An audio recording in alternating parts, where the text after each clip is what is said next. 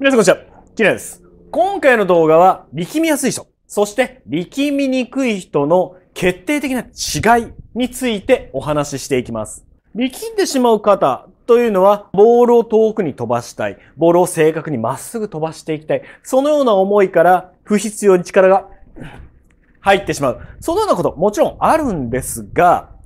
スイング時に力んでしまいやすい。もしくは力んでしまった時に大きなトラブルになりやすい体の動作、スイングの特徴というものがあります。今回の動画では、その特徴をまずは皆さんにご覧いただいた後に、そのようなスイングにならないための練習方法、これも合わせて紹介していきます。初級者、中級者、アベレージゴルファーだけではなく、上級者プロももちろん力みというものは付き物です。ですが、そのような力みというものを最小限に抑えていくためのスイング作り。今回はこれに取り組んでいきましょう。それでは最後までご覧になってください。それではやっていきましょうか。まずは2球皆さんにスイングをお見せします。力みやすいスイングと力みにくいスイング。この特徴を少し極端にしながら皆さんにお見せしますので、どのようなスイングの違いがあるのか、ということを注意深く観察しながらご覧ください。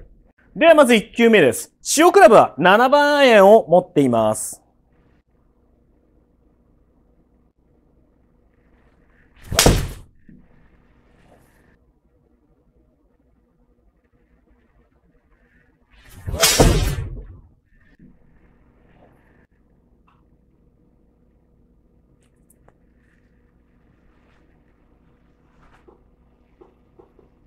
では2球目です。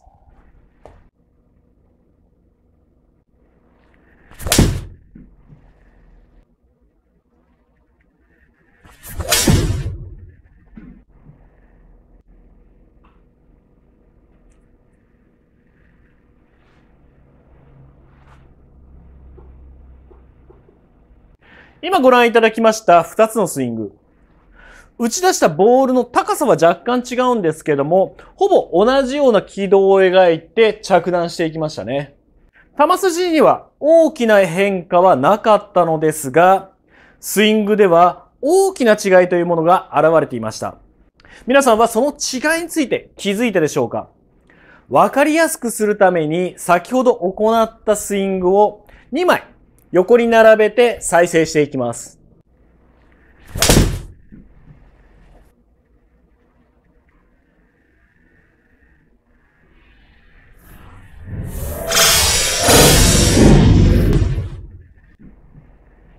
ではさらにわかりやすくしていくために、静止画で2枚スイングを並べていきます。今回行った2つのスイングの違いというのは、バックスイングを行ってトップポジションの形に一番の違いがあります。1球目のスイングは手元の位置、腕というものがほぼ肩のラインと平行であったのに対し、2球目のスイングというのは肩のラインから大きく飛び出て腕がかなり上方向にアップライトに上がっている状態になっていますよね。では、今行った2つのスイングというのは、どちらが力みやすいスイング、もしくは力んでしまった時に大きなトラブルになりやすいスイングであると言えるでしょうかこの答えというのは2球目。腕が肩のラインを飛び越えてアップライトに上がっている。このようなスイングは力みやすいスイングと言えます。では、このスイングについて少し解説していきましょう。力んでしまう原因というのは、主に上半身、胸から上、腕、ここに不必要に力が入ってしまうことから起きます。悪いスイングの代名詞である手打ちという動作は、腕が大きく動くことによってって様々なトラブルを引き起こしますよね。もちろんそのトラブルの中に力みというものも含まれます。先ほど行った二つ目のスイングというのは、体の回転プラス腕の上方向の動作が強く行われていますので、ダウンスイングでは体の回転だけではボールを打つことができませんので、腕を下方向に引き下ろしていく動作というものをより強く行わなくてはいけません。つまり腕の運動量が1球目に比べてかなり大きいということですよね。腕を使うということは力みやすい、力んでしまった時に様々なトラブルを大きく引き起こしやすいスイングと言えます。以上のことから力みにくいスイングを行っていくためには特に意識していくこと。それはバックスイング初動の動作ですね。腕を使ってクラブを上に上げていくような、このような動きではなくて、体の回転によってクラブを引き上げていく。このような動作を行うことができれば、力みにくい、力んだ時にリスクの少ないスイングを行うことができます。今回の動画では、この動作を学んでいくためにドリルを一つ紹介していきます。使用クラブは9番アイアンを今持っていますが、このようなショートアイアンで行っていきましょう。まずは、ボールに対していつも通り構えていきます。そうしましたら、ここから右手の甲を折って、クラブをだいたい地面と平行の位置まで上げていきます。構えて手首を折る。この時にフェース面がボールを見ているような、そのような形を作ってください。同じような形でも、手首をくるっとロールさせるような、このような動作を行ってしまうと、フェースが斜め前を向いてしまって、左手の甲も上を向いてますよね。クラブの位置は同じなんですけども、フェースの面、手首の角度が大きく異なります。手首をくるっとして開けない。ただ、右手の甲を折るだけ。このようにしてクラブを水平の位置まで上げていきます。ここから体の回転、主に肩の回転を使ってトップポジションまでクラブを上げたら、そのまま体をくるっと回して、ボールを打っていきます。今のこの一連の動作の中に腕を上げていく動作、これは一切行われていませんよね。手首の折る動作、体を回していく動作、この二つだけです。構えて手首を折る。体を回して、回して、ボールを打っていきます。この時に打ち出されたボールの行方はそれほど気にしなくていいです。意識してもらいたいのは、一連の動作の中に腕を使う上下運動の動作がないこと。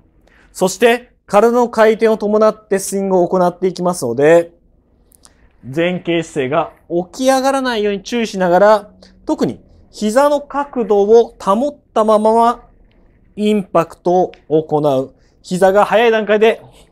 伸びてしまうと体も起きやすいですね。手首を折る。体を回して回して。このようにボールを打っていきましょう。実際に皆さんこのような動作を行って、それを撮影していくと、腕がこのように肩のラインと平行な、かなりフラットなトップポジションに収まる方もいれば、少し上側に収まる方、いろいろいると思います。これは身長であったり、使用クラブ、もしくは体の前傾の角度によって異なりますので、必ずしもこの位置にトップが収まらなくてはいけないということはありません。大事なことは、腕の上下運動、これを大きく使って、肩のラインから大きく逸脱したこのような高いトップを作らないということだけです。このドリルを行うことによって少しずつ腕の上下運動の動作が排除されて、体の回転でクラブを扱っていくことが体感できたら、この動作を切れ目なくスムーズに行えるようにしていきましょう。一旦停止してから体を回すのではなくて、体を回しながらクラブも同時に上げていく。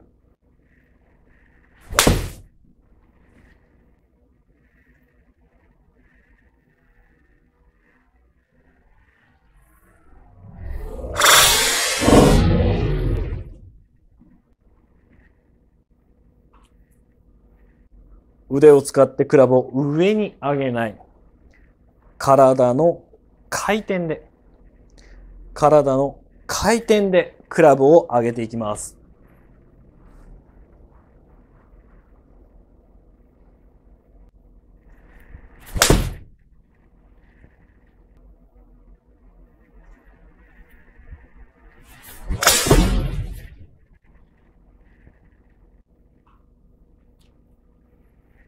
それでは今回の動画以上になります。ご質問ご不明な点はコメント欄までお願いします。それではどうもありがとうございました。